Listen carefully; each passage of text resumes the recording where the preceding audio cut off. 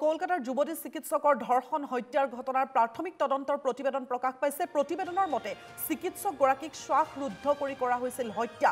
তেওঁৰ শৰীৰত স্পষ্ট আছে যৌন নিৰ্যাতনৰ প্ৰমাণ। শৰীৰৰ বিভিন্ন স্থানত আছিল আঘাতৰ চিন।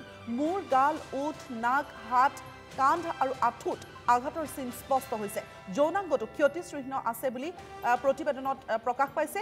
নিৰ্যাতিতাৰ শৰীৰত এশ পঞ্চাছ গ্ৰাম বীৰ্য পোৱাৰ কোনো প্ৰমাণ নাপালে আৰক্ষীয়ে। কেৱল কেতবোৰ তৰল পদাৰ্থৰ উপস্থিতি আছিল বুলি প্ৰতিবেদনত প্ৰকাশ পাইছে। শৰীৰৰ বিভিন্ন স্থানৰ হাড় ভঙাৰো প্ৰমাণ নাপালে আৰক্ষীয়ে। ন আগষ্টত আৰ জি কৰ হাস্পতালৰ ছেমিনাৰ হলত উদ্ধাৰ হৈছিল চিকিৎসকগৰাকীৰ মৃতদেহ। ঘটনা সন্দৰ্ভত এজন চিভিল ভলণ্টিয়াৰক গ্ৰেপ্তাৰ কৰিছে আৰু জেৰা অব্যাহত ৰাখিছে।